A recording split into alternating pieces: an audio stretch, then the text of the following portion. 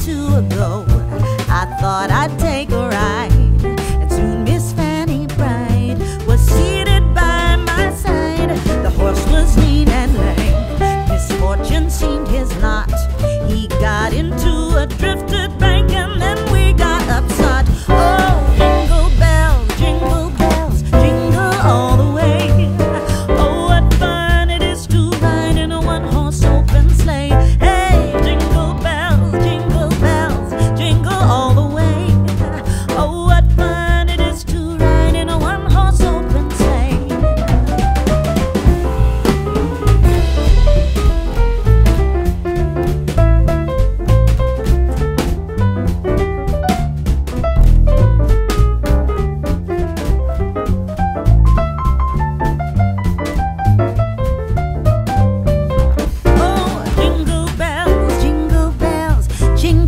the way.